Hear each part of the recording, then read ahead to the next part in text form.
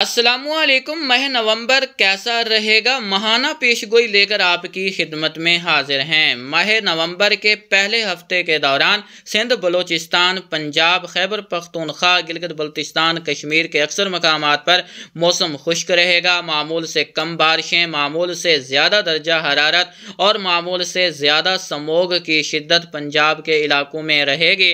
और नवंबर के पहले हफ़्ते के आखिरी दिनों के दौरान इसकी शिद्दत सिंध के इलाकों में भी देखने को मिलेगी और जनूब मशरकी खैबर पख्तनख्वा के इलाके भी इससे मुतासर होते दिखाई देंगे।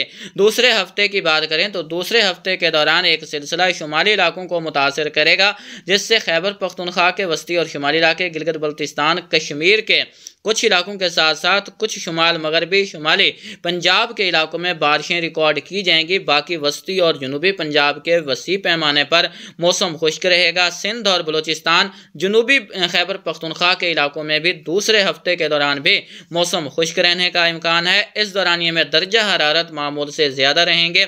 बड़ी सर्दी की लहर का इम्कान नहीं है। यहाँ पर इंतहाई शुमारी इलाकों में ठंड की शिद्दत में इजाफा होगा और एक कमज़ोर शिद्दत की सर्दी की लहर शुमाली इलाकों को मुतासर करेगी।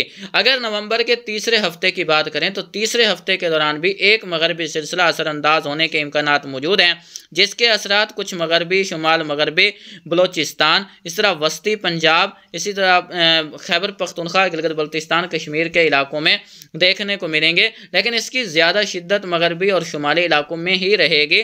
वस्ती पंजाब तक बादल ज़रूर देखने को मिल सकते हैं, लेकिन इस दौरानिए में बारिश का इम्कान काफ़ी कम रहेगा।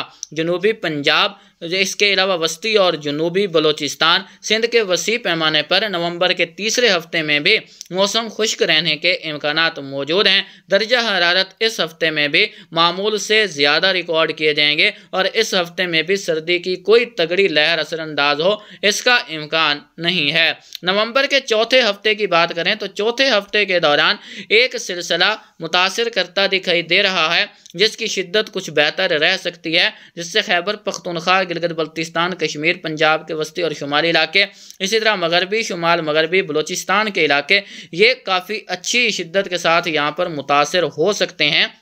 लॉन्ग रेंज है, इसमें तब्दीली मुमकिन है, लेकिन आखिरी हफ़्ते के दौरान एक सिलसिले के इम्कान काफ़ी मज़बूत दिखाई दे रहे हैं, जिनका असर हमें यहाँ पर पंजगूर, तुरबत, गवादर तक के इलाकों में भी देखने को मिल सकता है। अलबत् इस हफ़्ते के दौरान भी मुल्क के अक्सर मकाम पर दर्जा हरारत मामूल से ज़्यादा रहने का इम्कान है। सिंध के इलाकों में मौसम खुश्क बना रहेगा, इस तरह जनूबी पंजाब के इलाकों में बादल देखने को मिलेंगे, शुमाली सिंध के इलाकों में भी, लेकिन बारिश के इम्कान यहाँ पर भी नवंबर नवंबर के दौरान काफ़ी कमज़ोर हैं। नवंबर में मजमू तौर पर पाकिस्तान में मामूल से कम बारिशें रिकॉर्ड की जाएँगी और दर्जा हरारत मामूल से ज़्यादा रहेंगे।